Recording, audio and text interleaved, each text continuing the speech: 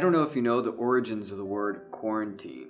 They come from 14th century Venice, where medieval ships used to dock and have to wait for 40 days before the sailors could disembark. This happened during the time of the plagues, and in medieval Venice, there was sort of a fear of whatever contagions the sailors might have brought from other ports had to stay there on the ship, and the sailors had to be decontaminated for the safety of the people on shore and for the good of the sailors and the cargo. Brothers and sisters, I don't think that it takes a lot of imagination to see the connection and the spiritual meaning in the fact that quarantine is a part of our Lenten experience.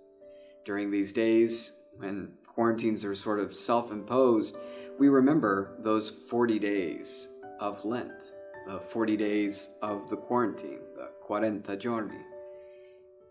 In order to think about this more deeply, you might just think of the analogy that before we get to Easter, we prepare ourselves for 40 days, decontaminating, getting ourselves ready in order to enter into the joy of Easter.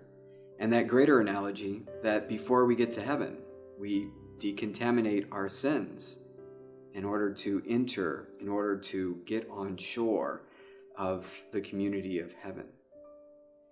During this difficult time, during these difficult days where we ourselves are being quarantined, let us remember that the Lord is doing something greater this Lent, purging us deeper and getting us ready for the things to come.